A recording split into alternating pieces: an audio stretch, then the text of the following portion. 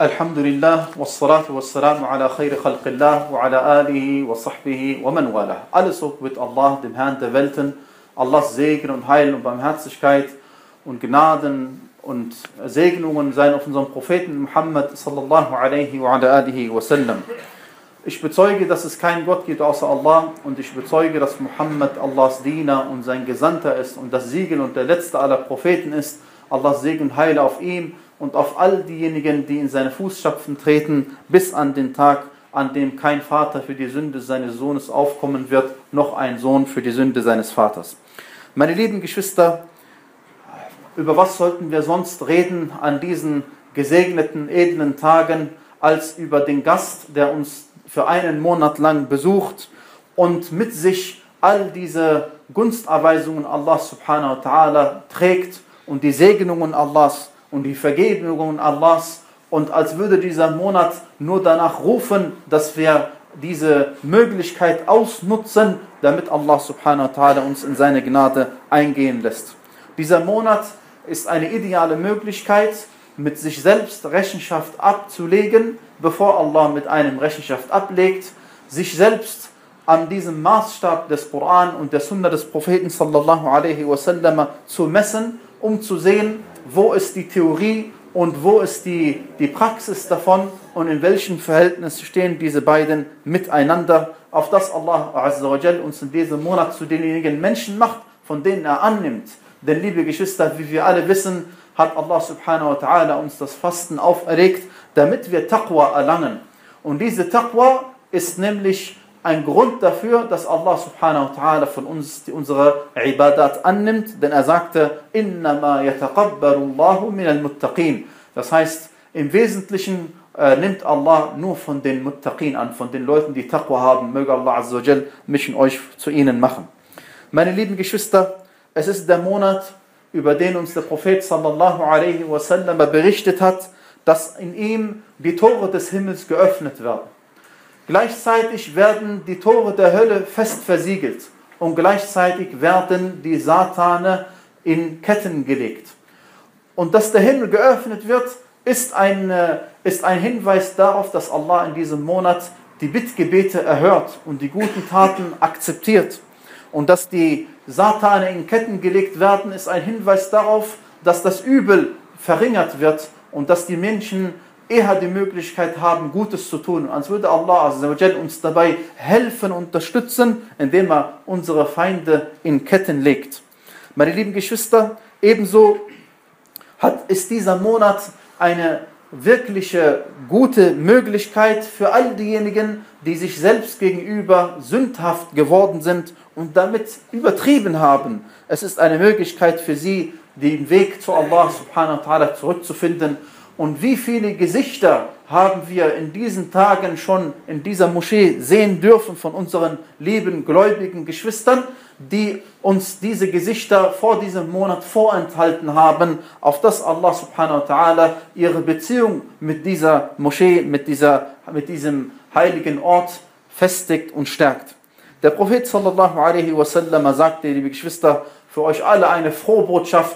Er sagte, wer in diesem Monat als Gläubiger fastet und auf die Belohnung Allahs hoffend fastet, dem werden seine vergangenen Sünden alle vergeben.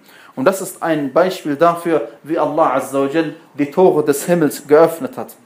Ich möchte darauf hinweisen, dass auch wenn wir fasten und das Fasten oft in Verbindung gebracht wird, damit, dass jemand nicht so aktiv ist und dass jemand vielleicht sogar im Gegenteil sogar vielleicht faulenzt und ähnliches, sollten wir uns daran erinnern, dass in der islamischen Geschichte der Monat Ramadan derjenige Monat war, in dem sich ganz wichtige historische Ereignisse abgespielt haben und dazu gehört, wie wir alle wissen, die Schlacht von Badr, die stattgefunden hat im zweiten Jahr nach der Hijra des Propheten sallallahu alaihi wasallam und ebenso die äh, Befreiung von Andalusien und im Jahr 92 unter der Führung von Tariq ibn Ziyad und eines der wichtigsten Angelegenheiten, wir wissen, dass in diesem Monat, im achten Jahr nach der Auswanderung des Propheten sallallahu alaihi wasallam, Mekka befreit worden ist. Das ist der Monat,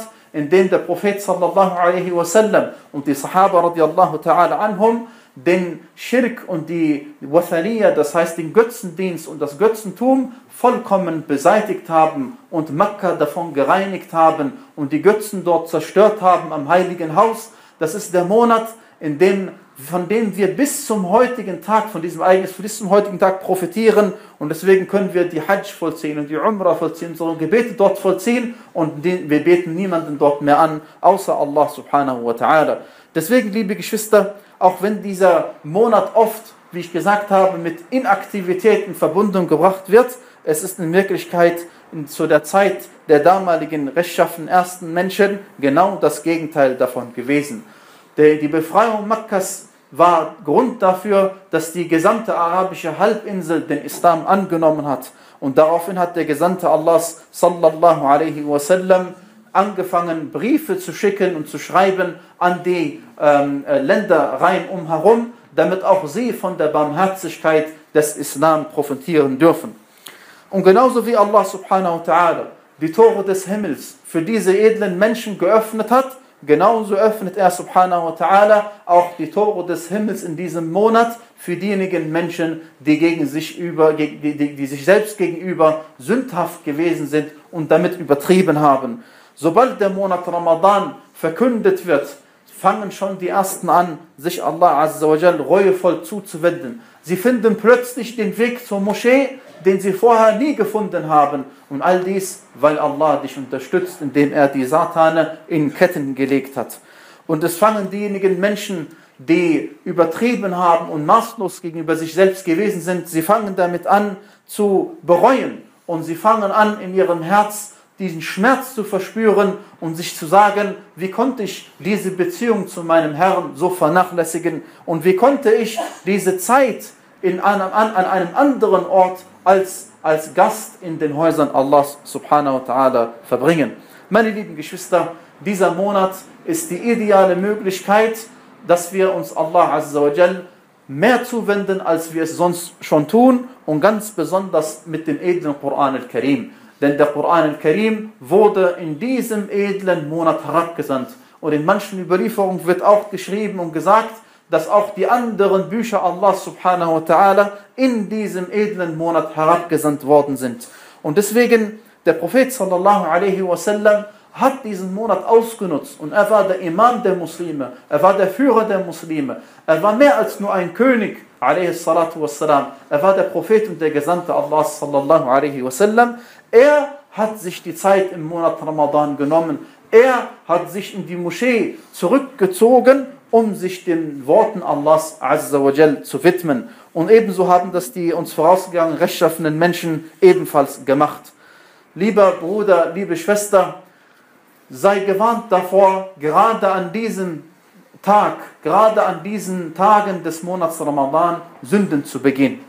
Denn der Prophet sallallahu alaihi wasallam hat uns davor ausdrücklich gewarnt und uns klar gemacht, dass das Fasten nicht nur bedeutet, sich vor Essen und vom Essen und Trinken zurückzuhalten, sondern dass es beim Fasten sehr wohl auch darum geht, allgemein sich den Sünden zu entsagen. Denn es kann ja nicht sein, dass Allah subhanahu wa ta'ala uns tagsüber Dinge verbietet zu tun, die eigentlich erlaubt sind, wie Essen und Trinken. Und dann beginnen wir Dinge, die sowieso haram sind, auch außerhalb dieses Monats. Und deswegen sagte der Prophet sallallahu alaihi wasallam, äh, in einem Hadith bei Sunan ibn Majah, er sagte, so manch ein Fastender hat von seinem Fasten nichts anderes als Hunger.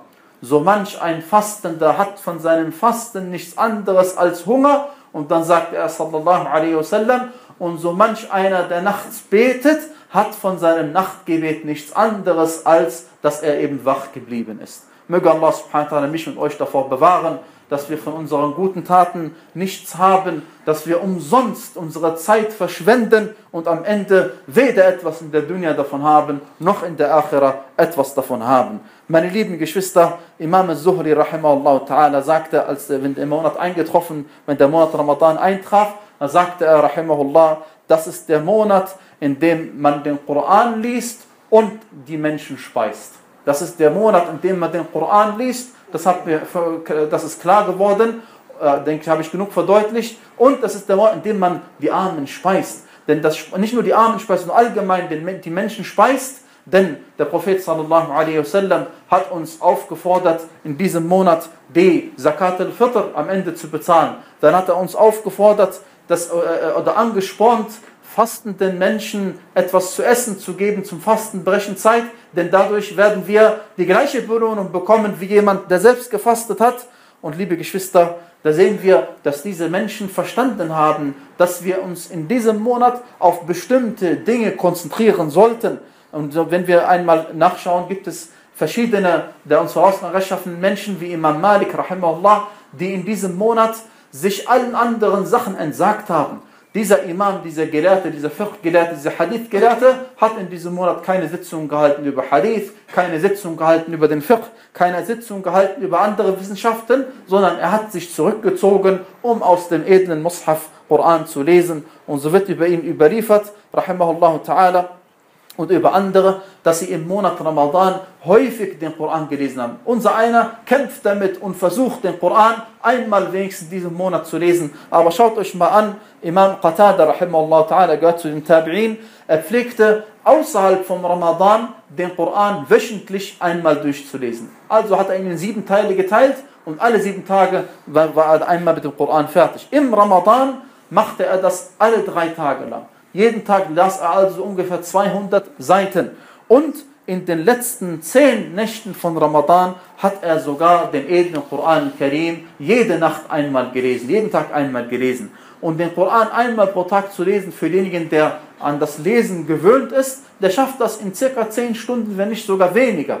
Das heißt also, sie haben tatsächlich ihre Zeit dafür geopfert, in diesen edlen Koran Karim, darin ihre Zeit. Und wenn wir sagen Koran lesen, dann gehört nicht nur das Lesen, einfach das bloße Lesen dazu, sondern dazu gehört auch, inshallah ta'ala, dass man sich äh, bewusst macht, die Bedeutungen des Edel Koran, also sollst du auch, inshallah ta'ala, auch mal eine Übersetzung zur Hand nehmen, wenn du das Arabische nicht verstehst. Und dazu gehört auch, azawajal, das auswendig Lernen des Koran. Denn diese Imame kannten den Koran auswendig, aber unser einer will ihn noch auswendig lernen. Also ist es inshallah ta'ala besser, eine Seite auswendig zu lernen, die du dann bis, zum, bis zu deinem Tod inshallah ta'ala auswendig kannst, als vielleicht eine Seite zu lesen. Und das war's dann auch schon. Möge Allah subhanahu wa ta'ala mir und euch den Erfolg verleihen, Gutes zu tun und besonders uns dem Koran Karim zu widmen. Möge Allah subhanahu wa ta'ala mir und euch den Erfolg verleihen, die Gebete in der Gemeinschaft der Muslime zu verrichten. Meine lieben Geschwister, wir reden über das Fasten